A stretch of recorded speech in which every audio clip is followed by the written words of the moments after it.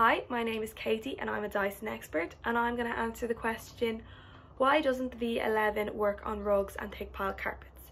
So the V11 does work on rugs and thick pile carpets. It has the strongest suction of any cord-free vacuum and can get up to 185 air watts of power. As well as this, the V11 Absolute comes with the high torque head, which changes its suction according to what type of floor it's on. So if it's on a rug or a thick pile carpet, it will increase its suction so that it can drive the dirt out. However, for high pile carpets, it's recommended to use eco mode so that the strands of the carpet don't get caught in the brush bar mechanism. If you have any other questions, you can visit dyson.ie and live chat with a Dyson expert. Or if you have any other demo requests, you can leave a comment below this video and use the hashtag AskADysonExpert.